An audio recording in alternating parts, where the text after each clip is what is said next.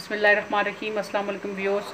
आज मैं आपको, मैं पास्ता की रेसिपी बताती हूँ वाइट सॉस के साथ, जिसमें ये चिकन, ये यूज़ हो रहा है।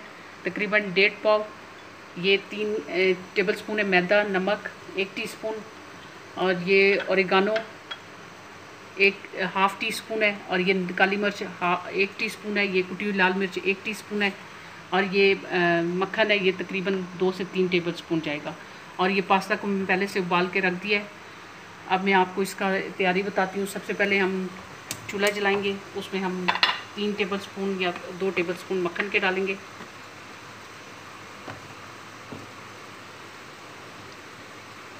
तकरीबन दो टेबल स्पून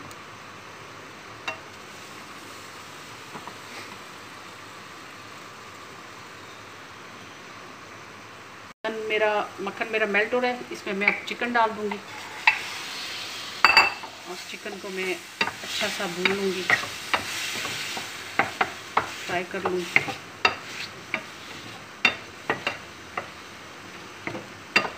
चिकन अच्छा सा पक जाएगा, फिर मैं इसमें मसाले डालूँगी। कलर चेंज होगा तो फिर मैं इसमें मसाले डालूँगी।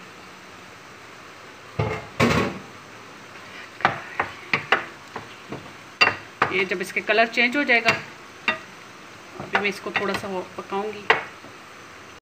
ये देखिए, तकरीबन इसका कलर चेंज हो गया अब मैं इसमें ये कुटी हुई लाल मिर्च डालूँगी थोड़ी सी हाफ़ टी स्पून इसमें डालूँगी और हाफ़ में वाइट सॉस में डालूँगी, नमक भी हाफ़ टी स्पून में डालूँगी इसमें। और ये कुटी हुई लाल मिर्च भी मैं इसमें हाफ़ टी स्पून डालूँगी। इसको अच्छी तरह से हम पका लेंगे। आप इसमें ऑयल भी यूज़ कर सकते हैं, लेकिन मैंने बटर यूज़ क्यों यूज़ किया क्योंकि बटर से थोड़ा टेस्ट अच्छा आता है। तो आपके ये ऑप्शनल है कि आप बटर यूज़ करें या ऑयल यूज़ करें। लेकिन मैं, क्योंकि ये टेस्ट अच्छा आता है, इसलिए मैं इसमें बटर यूज़ करती हूँ।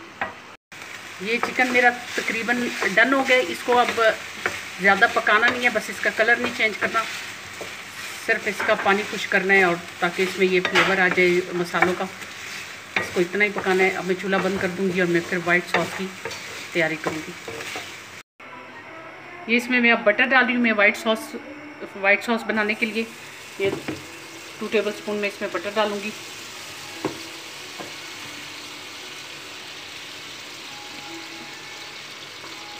और और इसमें मैं अब मैदा ऐड कर रही हूँ, तीन टेबल स्पून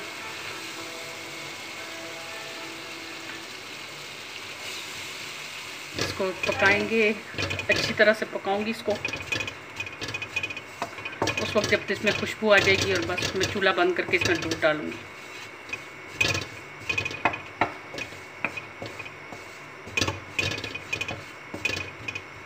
बस ये हो गया। अब इसमें मैं दूध डालूँगी, चूल्हा बंद कर देते हैं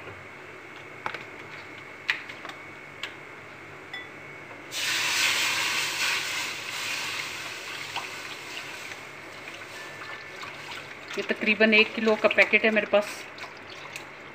आप खुला दूध भी यूज़ कर सकते हैं।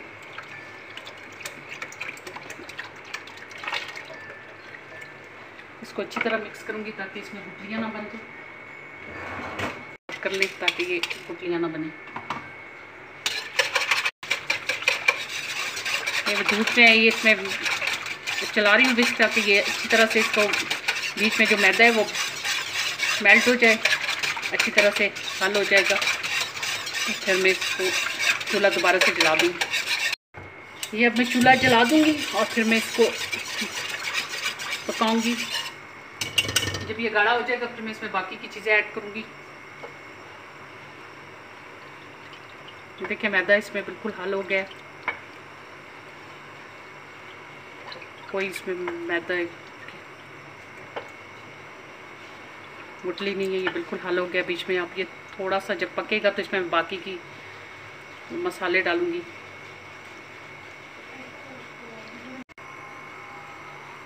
ये अब थोड़ा सा ठीक हो रहा है। अब मैं इसमें ये बाकी मसाले डालूँगी, जिनमें ये काली मिर्च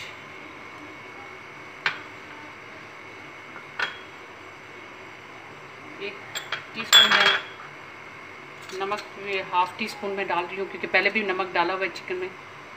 और ये कुटी हुई लाल मिर्च है। हाफ़ टी स्पून और ये औरिगानो है हाफ़ टी स्पून इसको मिक्स करें अच्छी तरह से। अब ये गाढ़ा होगा तो मैं इसमें चिकन और पास्ता डालूँगी।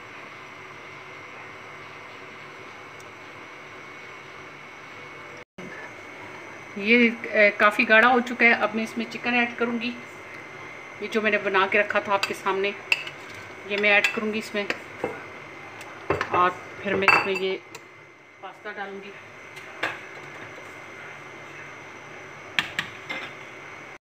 ये इसमें मैं पास्ता ऐड कर दी हूँ।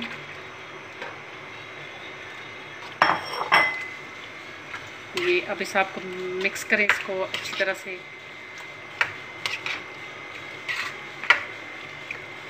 थोड़ा सा इसे और पकने दें, बस थोड़ा सा ये गाढ़ा होगा तो इसको बस उतार देंगे। ये बहुत टेस्टी होता है और इसे आप गरम गरम सर्व करें। अपने बच्चे बच्चे आपके बहुत शौक से इसे खाएँगे।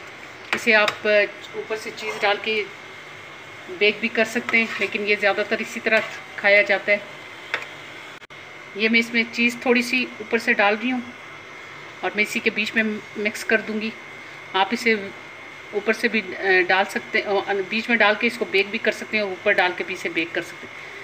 मैं अभी इसे, यहीं पे डाल रही हूँ। आप इसे इसमें डाल लें।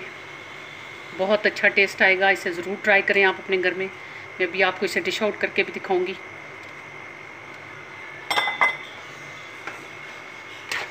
ये देखें, ये काफ़ी गाढ़ा हो चुका है। आपको नज़र आ रहा होगा। और बहुत टेस्टी होगा। अभी मैं आपको इसे डिश आउट करके दिखाऊँगी। ये पास्ता मैंने डिश आउट कर दिया है। ये देखें, ये इसकी लुक आई है। आप इसे घर में ज़रूर ट्राई करें। ये बहुत टेस्टी होगा।